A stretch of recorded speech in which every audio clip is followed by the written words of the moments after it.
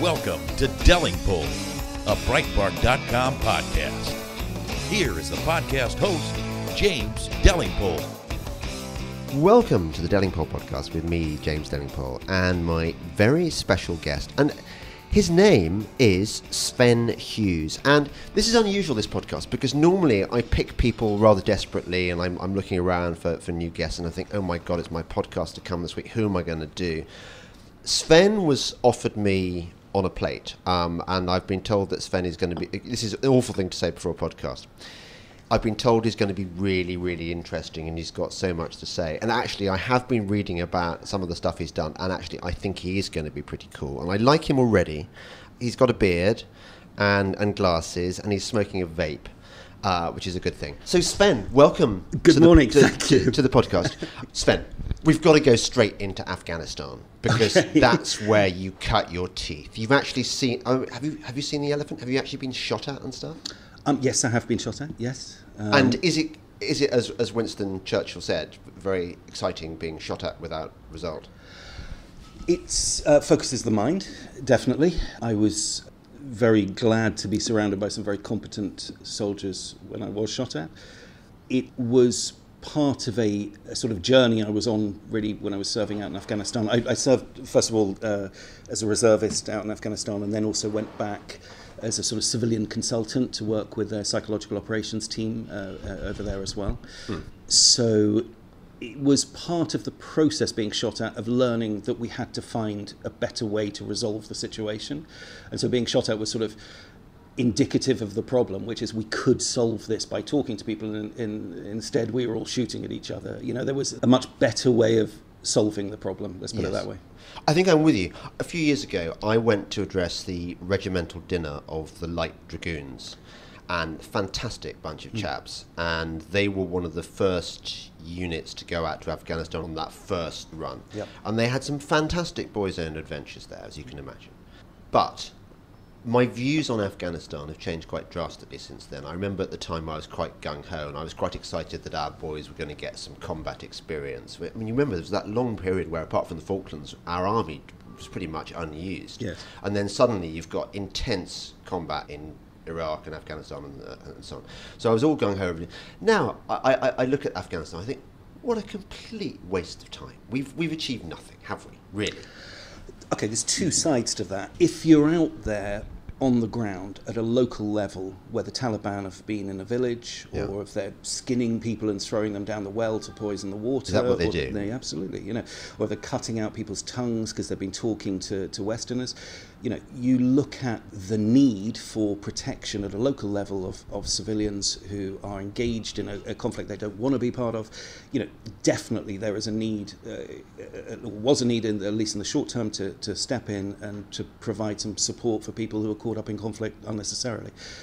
The strategic objectives, I think there's a, you know, it's a, it's a fairly uh, well-trodden path to say, have the strategic objectives been met? Um, that's very that's very questionable, I'd say. Um, Yeah. You know, and is the is the the Taliban now on the ascendancy again? Quite possibly. Is that sort of defeating the whole purpose of why we went in the first place? Quite possibly. But definitely on a human level, when I was there, certainly on a human level, am I glad I went? Am I proud to have taken part in? Operations and, and support efforts and influence operations that, that made a constructive difference on the ground? Yes, I, I definitely am. Yeah, I have maximum respect for all the people who served out there. I'm not dissing what they did, and I, I think, I just think as a as a father of sons, I wouldn't like the idea that my boys were sent out to essentially mow the lawn, uh, go go on these pointless bloody suicide patrols, basically, like like the one that I think the Welsh Guards got taken out very heavily on. Um, was it Rupert Thorneloe? I think that was the. th- This was wrong. You cannot get people to join your armed forces and then let them down in that way. I, certainly, I think there was a, a, a certain feeling out there that, and maybe it's still the case now, that the, the armed services weren't getting the support that they needed either in public opinion or actually in financial and necessary equipment support. Um, I don't think there's any contention yes, they had, in shit, saying that. They had shit equipment, didn't they? Those, in the those, start, yeah, the those start, vehicles yeah. that didn't protect them at all. Yeah, the start, certainly, yeah. And, and this is a live issue now. I mean, the, you, you're seeing it with the, with the current Defence Secretary at the moment turning around saying he wants two billion more, and, and an awful lot of people saying, yes, the, the armed forces need more money. You know, they need, need more support if they're going to be sent off to war. Now, the problem you've then got is is the exchequer. And, and the fact of do you give it to the NHS? Do you give it to the military? How, m- you know what kind of wars Duh. are we a- It's a fighting? no-brainer for me, Sven. I'm, Yeah, but there's different ways of doing it. I mean, th- this is all uh, predicated on the idea that you need to take kinetic action, physical interventions to affect peace. What, what I come from a slightly different position, which is, look, if we haven't got the money uh, as a nation to pay our armed services the kind of funds that we may want to, you know, Yeah. well then we have to uh, be a bit more savvy and we have to find different ways to affect our, our strategic objectives, our tactical objectives as a nation. And that leans you then more towards influence operations. They're, they're more cost effective and, and arguably more effective. And if you can win the hearts and minds and get people to come on a journey with you towards peace or towards uh, engagement, then you don't have to fight them anyway. So, No. so sort of, you know, there is a different way of doing this and that's more engagement based, dialogue based. I'm totally. I, and can I say I admire the way you sort of brought the conversation round there to your pet topic, which I was going to. I was going to do anyway. Actually, to be fair, you were there as a psyops expert, weren't you? Well, whether or not expert, I was there as a, was science practitioner. I, mean, yes. I, I just love that word, psyops. Yes. Psychological operations. Is that what it means? yeah, it doesn't actually exist anymore. I mean, PSYOPs has actually been phased out by the British military. It's now, What? yeah, yeah. No, PSYOPs has been sort of what I was a part of was something called 15 UK PSYOPs, uh, which was a, a, a, a regiment, a team, a unit, which has now folded into something else called 77 Brigade. So PSYOPs as a word, I don't think actually exists in the British military anymore. Oh right. It's all part of a wider influence operations. Uh, Maybe it sounds too American or something. I think it just confused people. I think they were calling it psych cops. They, it sounds as though it's in, implicitly sort of dark arts, where actually it's it's a bit simpler than that. You know. Um, so yeah, no, psyops. I, I don't think is a, is common parlance anymore. Can you give me some examples of psyops and I mean the kind of stuff you were doing? I, d- I don't want you to give away our secrets, Mm-hmm. obviously, but I mean presumably stuff you can tell me. Well, I think the intent of psyops, certainly when I was serving, which was to undermine the will of the enemy, or to Yeah. win over the, the, the commitment of the uncommitted, or to strengthen the commitment of the committed. Okay, so if you start there, so if it's tier one Taliban, the people who are really the, the main people who are causing the aggression, that are uh, subjugating the people and also fighting to ISAF, you know, to undermine their will to fight. Okay, well, that might be by um, directly messaging them with leaflets or radio or whatever it may be um, to, to question the motivations of why they're actually doing what they're doing and if they really are acting in the best interests of either their religion or their sociological factors that they're, they're saying.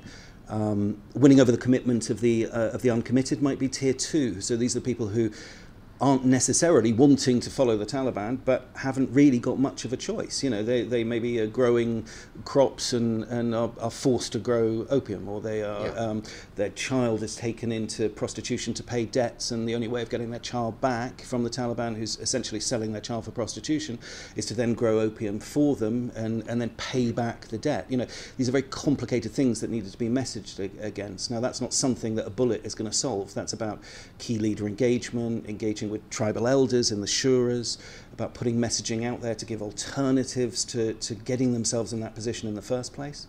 Um, and then supporting the committed, the people who are actually realizing that ISAF in that case are actually trying to do some good and who they are, what's their mandate, why are they there, um, and, and how to stay out of the, of the, of the trouble areas so as not to get sucked into the conflict. You know. Presumably the tier two people, the best line of argument is if you stick with us, we're not going to let you get got by the Taliban and we're not going to let you down.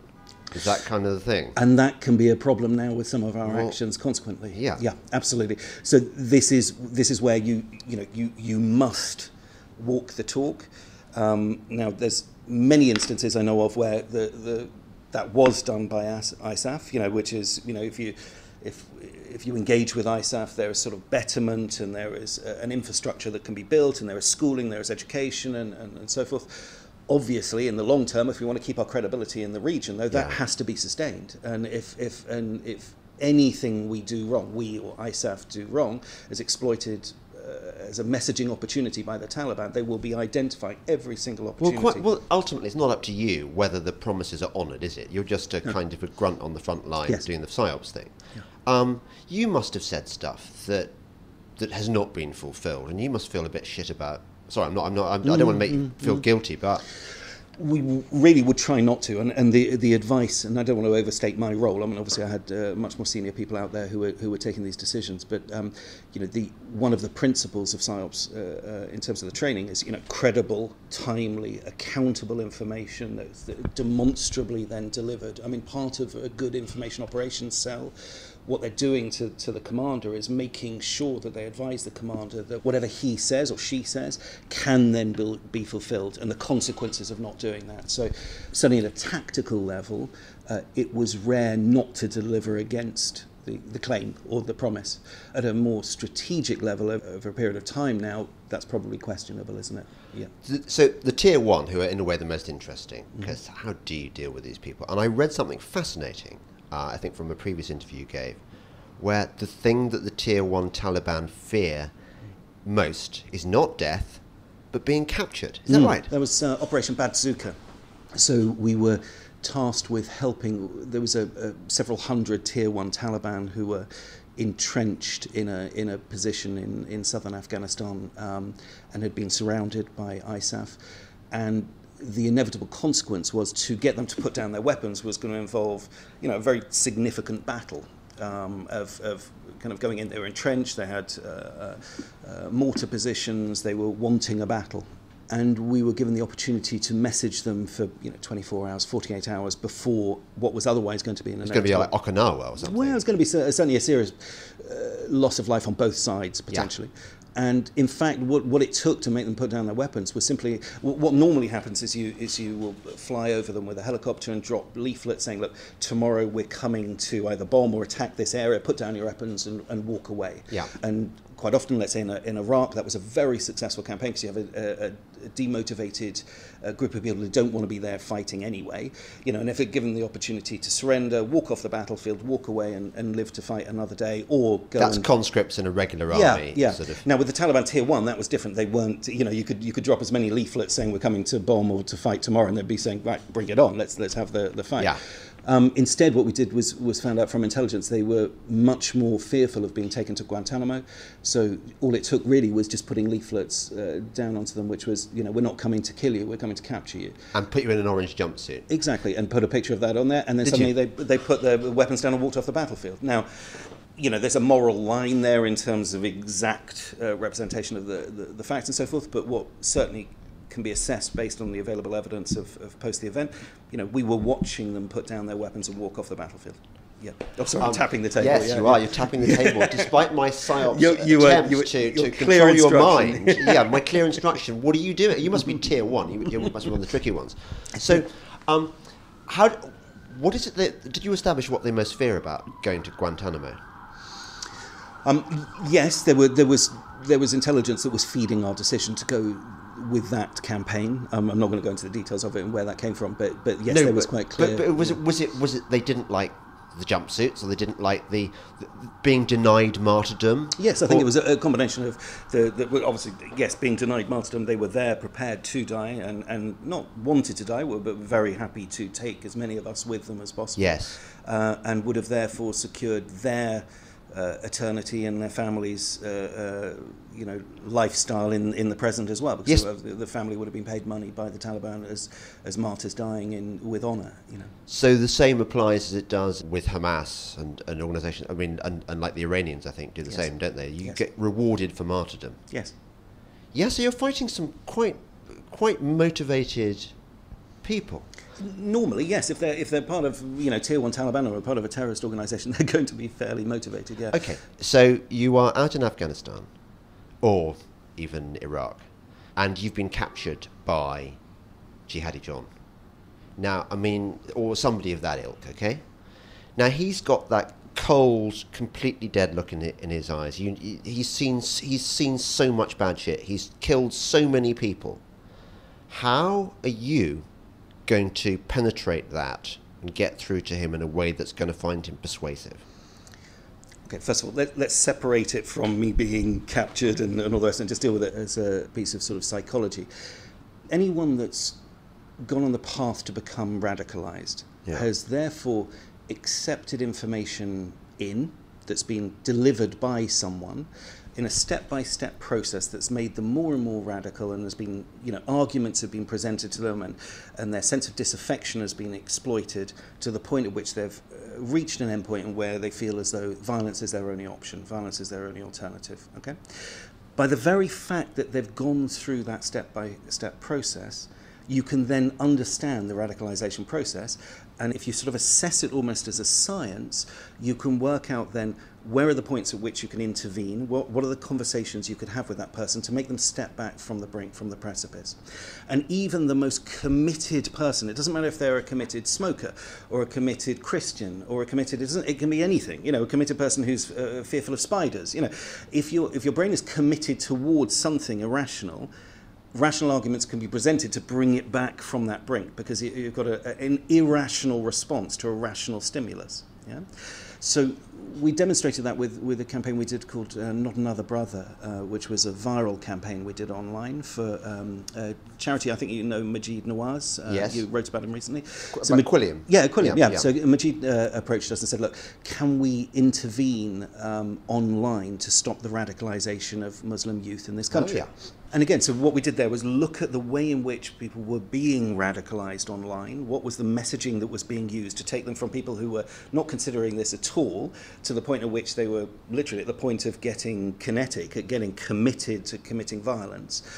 And designed an online intervention campaign called Not Another Brother that was then shared in their networks and would help them step back from the precipice. And that was considered think I'm right in saying it's sort of widely considered as the most successful online campaign that's ever been done against radicalization. And that was really going to people who were committed and wanting to go abroad to fight against this country. And, um, you know, I, I, think it had half a billion media impressions in That's the first seven days. It had people writing. in seven days. I think so. Goodness. Yeah, it was, it was, absolutely phenomenal. And and um, it also what was exciting by it is that people were reaching out to charities though who we were putting it in networks where people were being radicalized, and instead then of listening to the siren's voice of the people who are radicalizing them, they're in fact going over to the charities that were also in that space saying, I, am fearful I'm being radicalized, help, you know, and I'm, I'm, making contact with you to get me out of this cycle, you know. So it, it can be done, and it is, it is possible to do. So, how did you um, get the video out there into the right circles? You, did you put it on Facebook groups of Al Qaeda and stuff? And yes, I mean, and assess their what you call node analysis. so you, you do a sort of uh, a mapping of all the different influence structures online, where these people are being approached and who's approaching them and how they're being approached. Yeah. And then you, you introduce your material into that network. You but know. wouldn't they wouldn't they see this stuff and know it's from the other side and go, I'm not watching this. Shat Shatan or whatever they call him. Shaitan is, is putting this stuff out. Yes, you you, you have to. Um, well, in, in, in this particular case, what we did was actually put it out unbranded for the first few days. Yeah. Oh, so it's not. It looked initially like a yes. another recruitment video. People people thought they were watching a recruitment video to yeah. start with. Yeah. Now, obviously, it caused an awful lot of controversy within the, the recruitment networks. You know, an awful lot of people got very hostile towards it. That actually worked in our favour. That made it more attractive for people to watch because they wanted to hear what was being look discussed. at this disgusting exactly. look at look at this piece of nonsense and all the rest and of course people but we we created it in such a way as then it was really appealing though to really underlying psychological principles to do with risk and reward which is hopefully through the video questioning uh, what they were being told and being able to see it in a new way that then it didn't matter what other people then turned around and said or the recruiters were saying no don't listen to this stuff. The more they said that the more they were falling into the trap of the video you know? Right right you're listening to the Delingpole podcast with me, James Delingpole, and my, I think we'll agree, really, really interesting special guest, Sven Hughes. More in a moment. Hey, folks, I want to tell you about Breitbart News Second Amendment newsletter, Downrange with A.W.R. Hawkins. Features the top gun stories of the week every week, and guest columnists like Gun Owners of America's Larry Pratt or Armed American Radio's Mark Walters. Also features a review of a firearm or firearm accessory each week. The newsletter downloads on Thursday, comes right to your email inbox. You can subscribe at breitbart.com backslash AWR. This is Delingpole, a Breitbart.com podcast. Here once again is James Delingpole.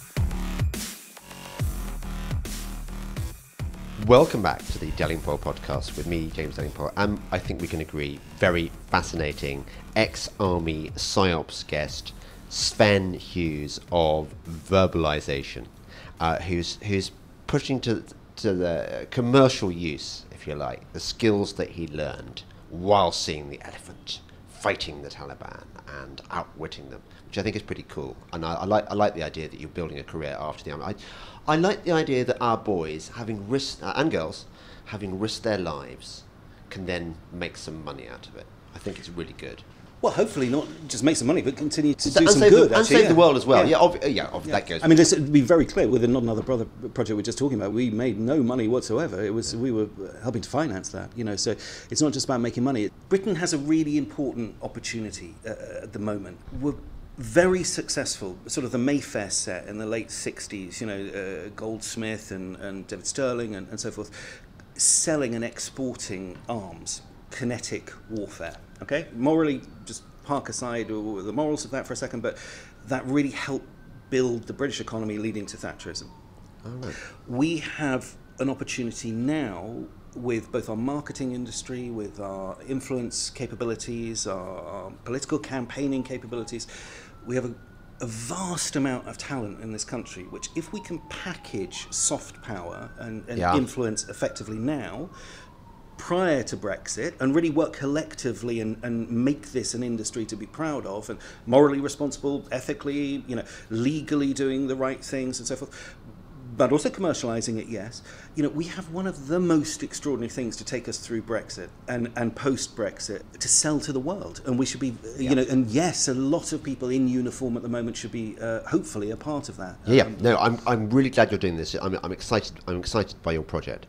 Later on, we're going to talk about Trump. We're going to talk about Brexit, and we're going to talk about how to deprogram Greens. I think I, I might try that one on you, but I haven't exhausted this whole Taliban jihadist thing yet. Can you just tell me a bit more about what is it they're after? Presumably, one of the things they want to be the baddest mothers in town, don't they? I mean, that's the thing about gang warfare generally. You want to be in the, the gang that goes harder than everyone else. And there's no question that ISIS, part of their appeal, is that they do shit that everyone else is appalled by. Is, is, is that is that your sense that people want to be part of that?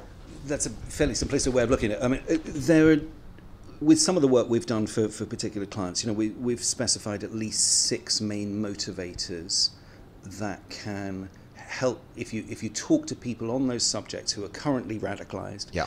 you can help walk them back from the precipice now One of those groups are certainly the absolute ultra-violent, so committed, you know, it's almost, uh, you know, sociopathic uh, degree of violence. That's the hardest group to hit, yeah? But, but around them, actually, an awful lot of other motivations. Now, it may be alienation, a sense of disaffection. It may be a sense of uh, misrepresentation of their religion.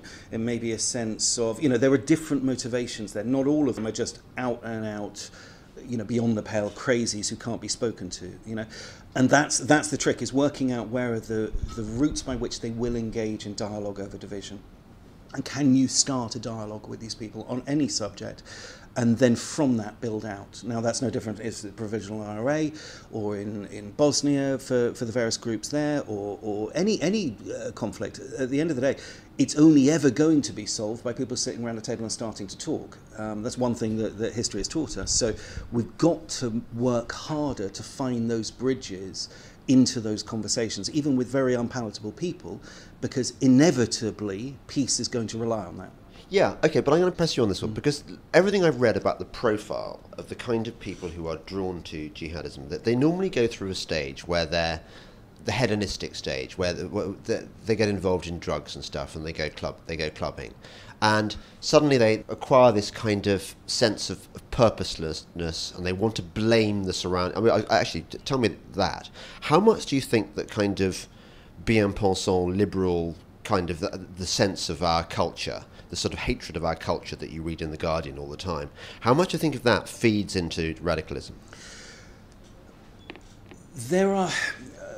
okay, we've got, we've got to be careful not to just be black and white about this, and we, let's talk about the Guardian sort of separately, but let's leave them out. Okay, we can blame the BBC think, as yeah, well. I mean, we, we yeah, no, but I think we've got to be really of... careful though. We mustn't be glib with this. This is sort of really serious stuff, and it's it, we've got to be careful not to fall into that trap.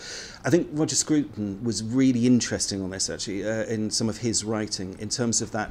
The second generation disaffection, the first generation, um, uh, you know uh, that, second generation disaffection, he was talking about Algeria, uh, uh Algerians within in uh, uh, France, and I think he was describing certainly stuff that can be evidenced through the psychological factors that we see, which is that that reappraisal of of okay, we've, we've, we're coming into a society, we want to be part of a society, first generation, but the second generation then turning around saying, well, I still don't yet feel fully integrated in this society. Therefore, there are friction points.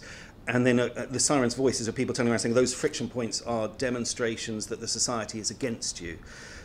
I don't think that's a fair representation of what's actually going on. Um, and that can be exploited for bad. And we've got to be very careful on our communities that we don't allow that to happen. And that's therefore the majority of a country have to be the ones that reach into these communities and say, no, you don't need to feel disaffected. We're here. Let's start the conversation. Yeah. Does that answer your question? No, yeah. doesn't no. really. It, it kind of com- completely it. skirted round. That, which is, it seems to me that one of the problems we have in Western civilization at the yeah. moment is that, call it 50% of the, the sort of media influencers are pumping out this image of Western civilization as being corrupt, flawed, decadent, wrong. And this gives people in is Islamic communities all the all the stuff that well look if they're saying it if, if if kind of white intellectuals are saying this stuff it kind of must be true because they wouldn't be saying it otherwise would they yeah. well that, look there's there's no question from my personal perspective yeah. is a lot of the manufactured rage yeah of the left media. Yeah. Is it helpful or unhelpful to our society as a whole? Unhelpful. Yeah. Could you argue, therefore, there are connections between radicalization? I mean, I think that would be a step that you'd need need to back up. Right. Personally, when I look at the manufactured rage that's going on at the moment within certain areas of the media, yes, unhelpful, and I don't think it's even liberal anymore, is it? I mean, if you look, there's censorship happening with with from from this sort of controlling left. Well, that's not liberal. You no. know, there's there's group dynamics of using group mentality. Well, that's not liberal. Yeah. There's uh, underpinning notions of violence. Even John McDonnell threatening for you know intimating of violence through uh, as a, a political force. Well, that's not liberal. Yeah. You know, there's there's a, a, great deal of supposed liberal values, which have nothing to do with liberal values, that are being exploited by the left. I mean, in a very controlling way. Yeah. Um, that definitely worries me. I mean, I think it's why Trump is getting an awful lot of bad press. I mean, there's no question the the migrant issue at the moment with with children has not played well at all, but he's certainly not getting except from, except we, now we know that that time photograph was was not was, true. Was exactly, not it's a Honduran family. Yeah, exactly. This is manufactured rage. Yeah, you know? yeah, and absolutely, and we should call it out everywhere. And that, that's uh, we should call it out on the right and the left. I mean, manufactured rage is too easy. We have a, a very it's too easy to sing the, the, the, devil's song at the moment, and, and social media enables that to happen very fast.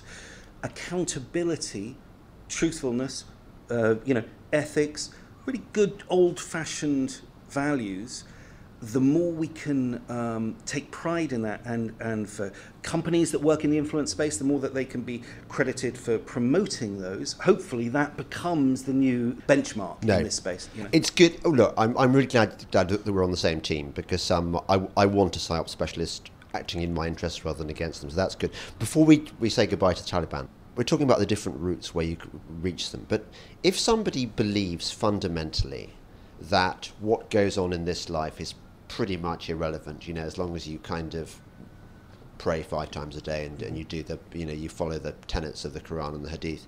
Um, what really matters is after, because Allah, Allah decides, and, and, and it's ultimately that that counts. How, somebody's somebody's been out to Syria or, or Iraq and done terrible, terrible things. They've crucified people, they've raped women, they've, they've killed people what way back is is there for them? How do you get? How do you say? Well, actually, you know, there's still a chance to. What What do you do?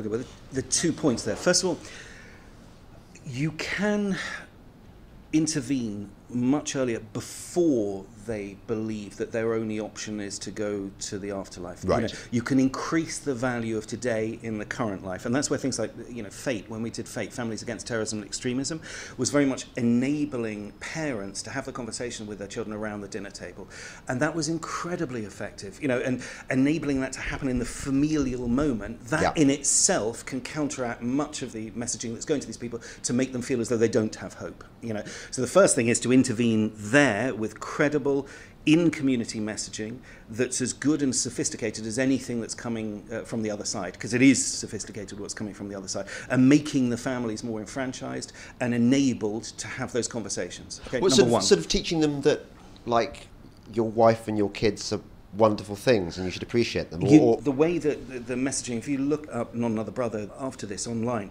the video that we made there was all about someone who had gone abroad, perhaps Syria was the, the location, and it was actually the, the consequences to their family of what they'd done and what they caused their family back home and their brother, and that's why it's called Not Another Brother, you know, and it's, it, it's a letter from his brother that the person who's gone abroad is now reading in this godforsaken place where he's facing the, the romance of going off to fight doesn't live up to the, to the Right, promise. yeah, yeah. And so that's a much, much stronger bomb than people give it credit for. It, it Okay. isn't, you know. And so you really can work with that and bring people back from the precipice. Now, look, if people have then got to the point at which they have committed violent acts and and and. Ex- extremely violent acts and so forth then you're into a whole different space you know then you're into a much much more one-to-one engagement space what can you do with that person? Yes, of course you can engage with them and, and so forth. Well, are they going to face prosecution? Most most likely.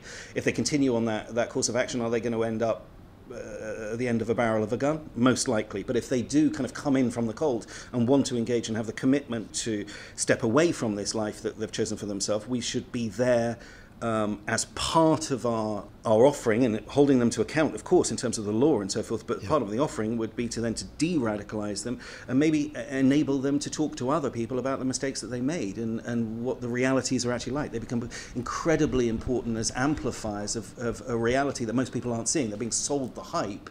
But hearing from someone who's actually been there and done it and has chosen to step away can be very, very compelling. You know, former combatants are, are actually a very good mouthpiece to tell the truth. yes, you know. of course. I understand that you are one of the special friends. In fact, you are the special friend. So we know there's only one special friend of this podcast. Only one person ever listens to this.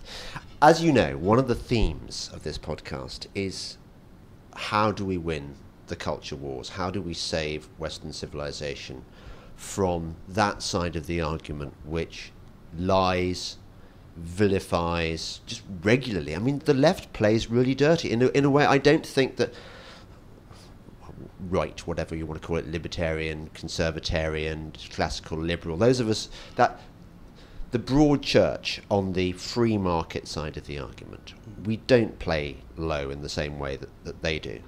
And I was, now I've got you, tell me. I mean, for example, the Greens. I've spent the last 15 years of my life on bloody Groundhog Day fighting these people. And I know that all the evidence is on my side because, like, when you reduce things down, down to the basic principles, you know, you, you find that, yeah, the facts are on your side. But nevertheless, there's a very, very powerful green blob churning out propaganda, or, or name any other other category. I mean, in the field of education, there's a very powerful industry trying to destroy the, the reforms proposed by people like Michael Gove and Toby Young, all the good, good work they do. So, how do we win the war? Okay, it's a very, Sorry, very big question. Yeah, yeah, sorry. Okay, let's let's keep it in politics for a sec, just before we go to, to other things such as uh, green issues. Hmm. Facts at the end of the day win out. So if, let's take Trump and, and, and, and Brexit as two of the topics. Yeah, that's okay? yeah. Okay, so Trump, at the end of the day, you know, you, you're talking about a 3.8% um, uh, unemployment. You're talking about 21% tax. You're talking about lowest uh, Hispanic um, unemployment in at least 20 years, possibly of all time. Yeah. Lowest black unemployment, perhaps of all time. You're talking about the Iran deal, which is now uh, turning the corner, perhaps, on that issue. You're talking about, you know, Kim Jong Un and what's happened in Singapore. In this case, the left is absolutely kibosh because they thought the midterms were going to fall completely into their lap and actually people will make their own decision assess based on the evidence you know. So you've got to trust the audience. If you just put the facts out and in, in his case trump has got a program that is very very clear that everyone understands which is america first and let's make america great again but that principle of america first there's no equivocation.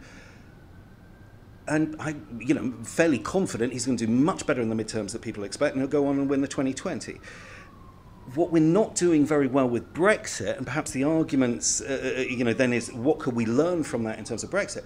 The clarity of the program isn't there. The clarity of what we're trying to achieve isn't there. Other than yes, we want Brexit, you know, but the the day after Brexit isn't painted in people's minds. The motivation of what's in it for them isn't isn't uh, painted in their minds. There's no sense they can kind of understand from a coping and edging point of view. They're, they're coping and they're edging every day. They're, they, they, they, they're just struggling on at the moment, and now they've got another problem ahead of them. You know, we've got to more effectively, with facts to substantiate it, communicate the possibilities and the opportunities of Brexit. And that's got to come from the top, that's got to come from May, and it's it's an awful lot of Dream what, on. Uh, well, uh, you know, Hunt was right, which is a good backer at the moment. Yeah, but, but, you know, the Dominic, Dominic Grieves of this world, he didn't get his way the other day in Parliament. You know, the, the fact is that that's gone through from the Lords now to, to, to the other House and then back again and so forth. They're not winning they're not winning. Yes. You know, uh, um, so hold okay. firm, I think, is really, and just um, base it on the facts. I see exactly what you're saying, and as Margaret Thatcher said, the facts of life are conservative, and you, and you look at that. You look, at, you read my hero Thomas Sowell, people like that. You just realise it's just like we're on the right side. We're not the bad guys. We really, we, it's not like that um, that sketch where are we the bad guys? But in a way, your answer to the Brexit problem is, as I understand it, we need Donald Trump in the UK because it's not about the message really. It's about about the people brave enough to be able to it's deliver the, the, message. Yeah, I mean it's interesting, isn't it? The the the, um, the American ambassador to the UK saying, "Stop whining about Brexit and actually start talking about the opportunities." To, to paraphrase, yeah. you know, I, I'm certainly looking for, as a, as a business owner, but also as an individual, as a conservative myself, you know, I'm looking for the wonderful feeling and opportunity of Brexit that I'm looking forward to as a business owner. Yeah. And what I'm seeing in the press every day is, okay, there's now another, you know, the, I'm not even going to say the name of it, but, you know, we've, we've heard the, uh, the aerospace industry with their point of view over, overnight. You know, we've, we hear so many negative comments. It would be, I can't wait for, for Brexit. I can't wait as a business owner yeah, yeah. To, to be given free market opportunity to give the best service, the best products, and compete at the best price with anyone in the world. You yeah. know? And that's a fabulous thing without all the rigging of the you know European Union in the way and so forth. Can't wait for that. You know, where is that voice in business? It's certainly not in the media at the moment. Where is that no. voice in politics? In those terms, taking that mandate to the people, saying this can be great, but we have to muck in together and we have to actually remember what it is to be British and now brand that and commercialise that and sell it to the world in a, in a really constructive way. I'm with you. I've, I've already sensed there what the third section of the podcast is going to be like, what we're going to talk about. But before springing that thrill on you, I wanted to ask a bit more about what it is that makes Donald Trump's messaging so godlike and fantastic. well, if I may invite you to do that. He's, uh, he keeps it simple. I mean, he understands his target audience. Um, he has basically worked out the real drivers of his audience, which is, you know, and Steve Bannon was right when he said this, which is the only poll you need to care about is that 70 something percent of the people don't feel as though America's great anymore. You know, and that was his advice yeah. to Trump right at the beginning. Forget all the other polls. That is the one to speak to, which is if you can make people feel emboldened and proud and, and feel as though therefore they're passing something on to the next generation that they can get behind and so forth. That in itself is a brilliant piece of messaging. That, that's actually something I've used before in a, an election campaign with a campaign called It's Working, where there was a sort of change message being brought by the opposition. I was advising a prime minister just saying, look, go with the message, it's working, and just talk to the things that are working, and let's, let's drown them with cream. Let's, let's you know, just speak to the positive and build people around that rather than all this, this nonsense negative. You know, that's what Trump understood. Now you're still going to have the negative voices, but there comes a point at which is, do you want to be the kind of person that supports and backs betterment prosperity, opportunity, or do you want to be on the sidelines just whinging about everything? And what he's managed to do, perhaps, is crystallize, or in the process of doing, is crystallizing that positive center space which says, you may not like me as an individual, but what I stand for is, and I can back it up with the facts, which is as we go through female employment, black employment, Hispanic employment, taxation, and so forth, I can stand by the betterment that is being felt in all areas of our society. Yes. That is a very is that marketing genius? No, that's just it's just a very clear, simple, effective messaging strategy that comes back to one single principle, which is America first. Yeah. You know, and that's very, very difficult to achieve. I mean, we're all throwing stones. Everyone's throwing stones at, at, at Trump, but they should have a go at trying to do that with a messaging campaign. If most, if most commercial companies manage to get the simplicity of his messaging across so many different areas and so many different topics, they'd be up for every award going. Isn't it more of a challenge? I mean, there's that music industry phrase, you can't polish a turd. Isn't, in, in a way, it much, much easier for conservatives? For you to be a kind of conservative, sympathetic messaging guy, your job's so much easier because you can say, look at the facts. Whereas if you're on the left, I mean, if you were, if you were advising Hillary, for example, what would you have said? Uh, retire. Yeah, I mean, yeah, simple. yeah, don't, right. Don't stand. Yeah. Um, look, first of all, you, you've got a, an assumption in there. It's easy at the moment. In any way, labeling yourself a conservative is not easy at the moment. It feels as though it's the pariah uh, label. And know, always has been, I think. it's to a terribly sad, really, actually, because it's really sad to see because it's actually the, the, the notion of conservative being to conserve the things that we value and, and so forth is a I would say at the moment, going through Brexit is a really important thing. That's not about building borders and, and rejecting people from coming in and all the ways in which it's, it's, it's represented. It's actually about branding Britain for what it's really good at and saying, come and be a part of that and, and, and enjoy it for what we have here and it's really good and come be a part of it that's fine and we're globally engaged and so forth. But but let's just be clear that's what we're really good at and that's what we want to move forward with you know. Um, so being conservative at the moment is a, a heck of a, a difficult thing. Not least because of the way in which perhaps it's it's being represented from the top. I mean it's not exactly an attractive proposition at the moment from the top. No, Um, it's not. we're living through a few years where the brand is all over the place. Despite that, you know, we carry on. Um, in terms of Hillary, what would you say to Hillary? Uh, uh, in all seriousness, uh, someone should have told her much earlier on uh, the toxicity of her brand. She, Yeah. she clearly, or her advisors, weren't listening to the, the reality. Yes. Or you should have said maybe maybe a spell behind bars would do you good, good Hillary. Um, you're listening to the Delingpole podcast with me, James Delingpole, and my very special guest, Sven Hughes. More in a moment. Breitbart News Daily with Alex Marlow. Why did we see some of the Republican kissing of Mark Zuckerberg that was taking place? I called it kissing the ring because I felt like every single person practically had to kiss the ring of this guy, you know, who wants to do nothing except get all those people out of office. So, you know, bizarre, bizarre behavior from the Republicans. Breitbart News Daily, weekdays at 6 a.m. Eastern on SiriusXM Patriot 125. This is Delingpole, a Breitbart.com podcast. Here once again is James Delingpole. Welcome back to the Delingpole podcast with me, James Delingpole, and my very special guest, Sven Hughes of Verbalisation. Now, I said I'd worked out where the next bit was going to go, and I suppose it's that question of you said that the facts are what you need to win, and I agree with you up to a point, but at the same time, we're not winning. We're not winning bigly at the moment. I mean, in America, they're winning bigly, I think, under Trump, but because they've got the Donald. We haven't got the Donald. We've got Jacob Rees-Mogg, but at the moment he's on the, he's on the on the fringes. I mean, I, th- I think he could be our Trump if he, if he if he were given half the chance. But we've got this fundamental problem, which is that our media culture is really swings towards the the liberal left. I, I mean, you know, even even if you allow for the Sun and, and the Mail, you've got the the BBC dominant narrative. You've got the Guardianistas, and although they're not representative of where people are at large, which is why we, we had Brexit, the fact is that they are controlling the narrative. So, how do you bypass those in a world where you've got Facebook, YouTube, uh, Twitter, um, you name them, all censoring conservative voices? How do we how do we get past this? I, th- I think we've got to be really careful, though. We don't become just whinging um, uh, in in our view of this, sort of saying, "Oh, it's the media's fault because they're not covering us." The the bottom line is, at the moment, conservatism hasn't made its central brand attractive enough. It hasn't communicated the benefits of free market economics. It hasn't communicated that there can be such a thing as responsible capitalism. It hasn't communicated the reason why people should be proud to associate it with a philosophy.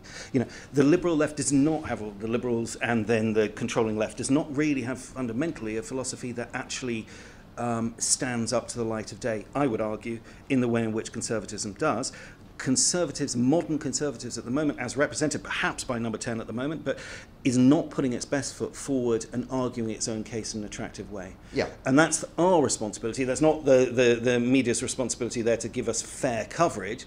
Uh, you get fair coverage by making your proposition so attractive people want to talk about it and have such talk value in the pubs and, and clubs of, of this country that they believe in it and want it in their lives. Yeah. Now, that's exactly what happened with Brexit with the beer mats, where, when Matthew Elliott did a piece of genius, I think it was Matthew's uh, idea who was, who was organising the, uh, one aspect of the Brexit campaign, which was the beer mats in the Brexit campaign in Wetherspoon pubs, which is, look, that's where the real people are Yes. who are going to vote, yeah, okay, and they're going to sit and have a conversation in groups of five or six people. So the most cost-effective way to start a conversation amongst them is to brand the beer mats. Don't do television, don't do press, Yes. don't do all the standard ways of talking to people. Take your proposition, make it attractive to them, make it relevant to them, and put it in their life. Now, if conservatism could do that, if it could take a little bit of that spirit, then we won't have to have all this whining life's unfair because I'm a, a, a Tory. It's like, no, no, no, just, you know, it's just like Thatcherism to some extent. You know, Thatcher made the person who owned a garage believe that they could own two garages and made the person who was working, you know, that is the responsibility of the Tories at the moment and no one else. You know, now where is that voice coming from? Okay, perhaps it's Rees-Mogg. I'm struggling for many other voices that are going to appeal beyond the Westminster bubble, though. No. Apparently, I heard the other day, Liz Truss is surprisingly good and sound. I didn't know that. I- But I didn't- apparently she's. I, I might might get. it. Mind you, I've got this policy at the moment of not getting cabinet people, senior conservatives on the podcast because they just they're all on message. Well, this is it, and, and, and this now. Where's the new uh, Roger Scruton? Where's the new, you know, where's the new thinking about? Hello? Yeah, yeah. Hello? Oh my God! Yeah, sorry. Of course. I mean, President I feel I feel so offended. no, no, no, no. I know. I, I, I haven't got the Roger Scruton rule. But but you know, there has to be a new energy put into this. That, that there is the new conservative solutions to the new modern world are more effective than the cultural Marxism, the uh, arguments that we're facing from the other side. Look, You know, Ann Coulter did a Breitbart town hall on this, and she said, look, the internet is fundamentally right wing in as much as the facts, when they boil down to what, what's true and what's not true, the conservatives got the facts and, and the left haven't. Therefore, the internet will win, which is why you've got Silicon Valley putting all these demonetizing, for example. Yeah. Aren't you involved in a project to do with that? How to enable conservative sites to bypass this program? No, you're not. no, no. You should be, mate. No. Please get on with it. Work Yeah. out that. But it comes back. It comes back to the, the, the fresh thinking in the Conservative Party, more generally conservative thinking, can be the tonic for all the coping and edging and cynicism that's going on in our in our society at the moment. If you think about it, you look at sport. Drugs, corruption. You look at uh, policing. Uh, uh, lots of people accusing it of being, you know, corrupt and, and, and, and all the rest of it. You look at um, uh, banks. You know, m- risico banking. You know, out of control banking. You look at the media. You know, people questioning the motivations of the media. If it isn't our politics that provides an attractive solution to this, well, we might as well give up on politics. If it isn't now the time, solution. well, that's and that's sadly what might happen is that people just turn around and say, actually, you haven't come up with a new answer that's relevant for the modern world, so a plague on all your houses. Would- that would be a really terrible thing if Yeah, that you, happens. I think you probably agree with me that actually it's about time the Conservatives started talking about less government. yes. I mean, that would Yep. be that would be a Yeah. very and, good and, and is it by any stretch of the imagination why Trump cut through? Because he turned around and said, I'm not a politician, I'm a businessman, I'm not interested in the swamp of vested interests and status quo. That's what Hillary represents, and that's why you shouldn't vote for her. And I'm not going to be perfect. I'm going to make mistakes, and sure as hell, in the last week or two, he certainly made mistakes. You know. But people are still going with him because it's like, yes, but at least you've got a core program, a core belief, which is, you know, that notion of the art of the deal. It goes right back to his autobiography there, which is, he made it pretty clear what he was about then. He hasn't really changed at all. You kind of know what you're going to get. And I can't say that's true at the moment with the Conservative Party. Yes. And that's a shame. No. It's a great shame. You know, we need to find that heartbeat again of why, why should I care? Why should I share? You won't often hear me use a football analogy, but I have to say, I've been watching this World Cup we've been having recently, and I've been watching our team, these kids who are untried really on the on the world ar- arena, and hitherto the policy of the of the English football manager has been choose the old farts that I know. I mean, they may be a bit creaky and old, but I know who they are, and we don't know who. The, I I wouldn't anyway. But I mean, even my son, who, who's interested in football, doesn't know half these players, and they are turning out to be brilliant. Oh, It's fantastic, isn't it? I mean, again, I'm not sure they'd like to be associated necessarily with our, our, our politics conversation, but but yes, if if there is the idea of representing um, England in that case, you know, or, or in a in a new, fresh, relevant way that's nothing to do with the the lazy arguments that are that are going on, and reintroducing ourselves to the world in a different way, that's great. You Yeah, know, yeah. that's a, a great. But also, it's interesting. It's also doing it for Russia. It's there's so much commentary as well about Russia saying. Actually, all that nonsense that's been spoken about Russia, a lot of it isn't true. You know, the select committees look for the Reds under the bed here; they didn't find them. You know, the the Mueller inquiry's been, you know, publish or be quiet. Yes. You know, there there isn't collusion, or if there is, publish or be quiet. And everyone's energy stopped doing all this, these proxy nonsense conversations, and just actually said, look, let's just concentrate on the you know, put up or shut up. Help be part of the new representation of our country, or shut up. Okay, but I think a lot of this stuff is beyond our reach. We can't we can't replace the, the cabinet. We can't personally topple Theresa May and replace it with the Jacob. But what can people in our area of th- I mean I, I, I don't don't do exactly the same thing as you, but in our area of things, we're both we're both culture warriors. I mean, what, for example, is um, verbalisation going to do to help shift the Overton window, whatever you do with the Overton window? Yeah. Well, okay. Verbalization is not a politically affiliated company. Okay. My personal feelings as the CEO are one thing. Uh, you know, I've got a whole mix of people in here. So, okay, sure. Um, you know, what we do here is believe in dialogue over division. Now, if that can be to hopefully counteract the effects of radicalization, great. Yeah. If it can be to stand up for really responsible, serious journalism, some of our clients, media organizations like The Times and so forth, to counteract some of the fake news that's coming from other sources, we're delighted to be associated with that. So, you know, verbalisation I don't is buy into fake news, but I, I think it's uh, that's a, a, a liberal left construct largely. No, there, there is a great deal. I mean, we, we see it as part of our work. You know, there is a great deal of manufactured, sophisticated, manufactured misinformation Oh yeah, put by, out by, by- proxy organisations. by Soros on behalf of the European Union. Yeah, yeah, sure. But I, what I mean is, I don't believe it's a it's a particularly right wing problem. I, I think No, no, it's, no. I mean, it's, it's, across, the, it's across from the, spectrum. Yeah. So, in terms of verbalisation, I'm going to I'm going to separate it because I've got Okay. people in the Yeah, yeah. organisation who probably would would uh, have all Yeah, the whole gonna vote for spectrum of political yeah. views. Yeah. Um, personally, what can I do is do this podcast.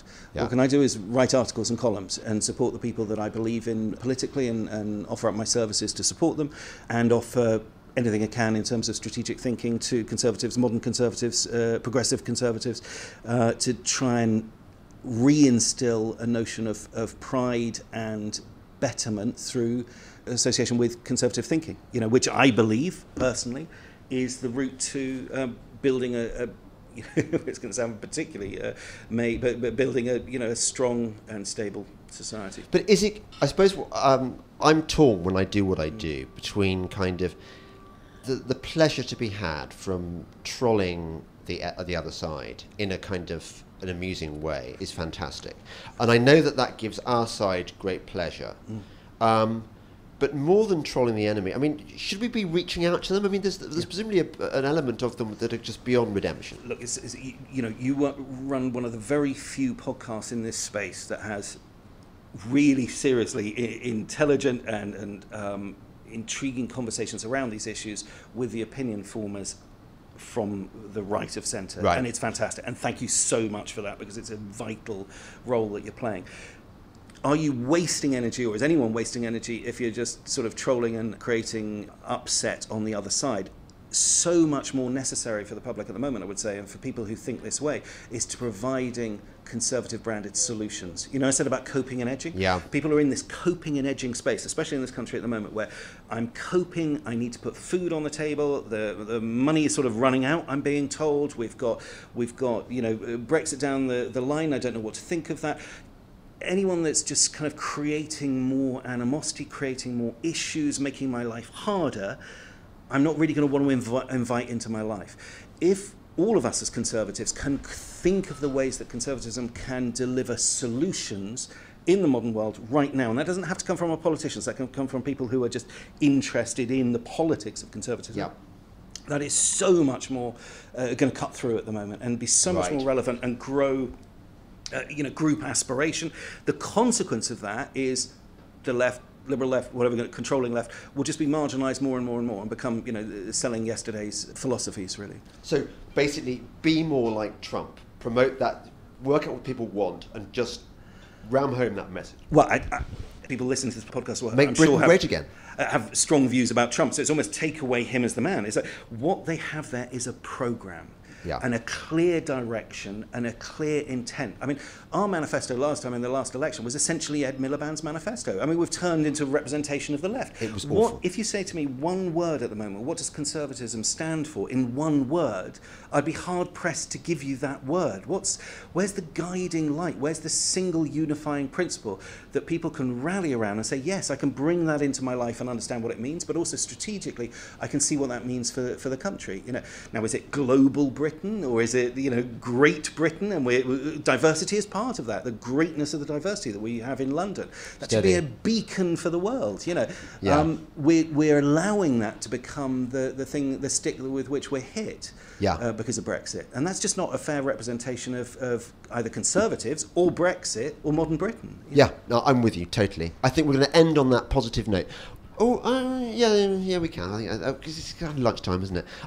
you're listening to the Delingpole podcast with me, James Delingpole, and my very special and likable and fascinating guest, Sven Hughes of Verbalisation. okay, till next week. Goodbye.